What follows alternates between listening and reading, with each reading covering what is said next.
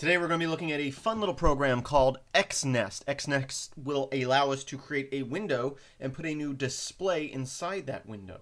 Uh, if you don't understand what I'm saying, hopefully you will by the end of the tutorial. Uh, first things first, probably don't have it installed on most systems, so sudo aptitude install xnest and go ahead and install that. We'll ask for your password, type in your password. I already have it installed, so I'm going to skip over that myself.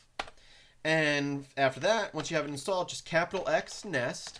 And uh, you don't have to give it a geometry or a size, uh, and we'll give it a default size. But if you wanted to give it a size, we just go dash uh, geometry. 800 by 600 will be the size I give it. And currently we're running on display 0. You got to pick a display that's not being used. So you can pick one, two, three, four, five. I'm just going to pick 2. So colon 2 and hit enter. And it popped up right here. We got a new little window open, and this is our XNest window.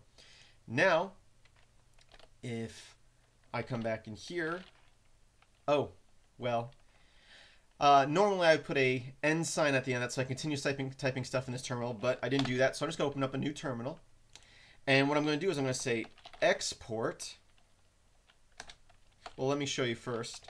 Make this a little bit bigger. If I go echo dollar sign display all capital, I hit enter, it shows me I'm currently running on display 0.0. So if I want to change that, I can type in export display all capital whoop, equals colon 2 and I'll switch to display 2 which is what is inside our XNest window.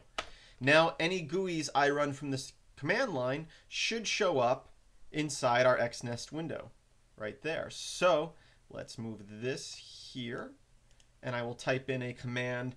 I will type in something like xterm.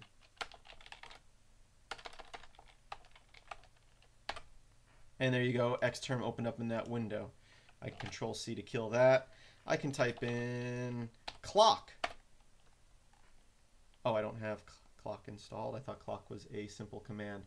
Um, let me check my notes here real quick. Oh, X clock. That's what I meant. X clock. And there's our X clock. Um, now, there's no window manager going here. That's why there's no uh, toolbar or anything on any of these applications. Uh, but if I wanted to, I could run a full desktop in there if I have, I can run GNOME or Fluxbox or OpenBox. But I'm going to show you, you know, why would you want to run another window with inside the same window? so you can run remote uh, programs. So the way we're going to do this is we're going to SSH into another machine and then run commands. So what I'm going to do is I'm going to go SSH dash capital X so we can have X forwarding. I'm going to log into my arcade machine in the other room. Username is arcade. Uh, I'm sorry, username is gamer at gamer.local. I'll hit enter. I will say my password. I won't say it, I'll type it.